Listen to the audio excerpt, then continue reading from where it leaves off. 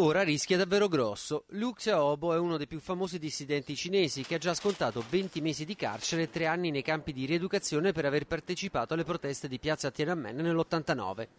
Ma ora nel processo che è iniziato a Pechino di fronte al Tribunale del Popolo Intermedio numero 1 rischia una condanna fino a 15 anni.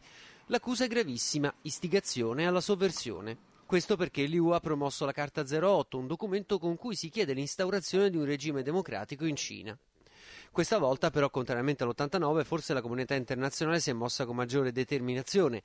Gli Stati Uniti e l'Unione Europea, che all'epoca del resto non esisteva neanche come soggetto politico, hanno fatto pressioni insistenti sul governo. Una mossa che ha maggiori possibilità di fare breccia, anche perché la Cina stessa non è più quella dell'89, ma un colosso economico entrato nel WTO e che ha negli Stati Uniti e nell'Europa importanti interlocutori economici e politici. Persino la popolazione è differente rispetto a 20 anni fa, infatti molte persone si sono radunate nei pressi del tribunale per protestare contro l'ingiustizia del processo. Liu dal canto suo ha già anticipato che non presenterà appello contro la sentenza. Il motivo lo spiega la moglie che con poche parole illustra il quadro. Non presenteremo appello dice perché non ce n'è alcuna ragione. Questo non significa che condividiamo la condanna, ma che non ha senso dialogare con un governo che non vuole ragionare e non ha principi.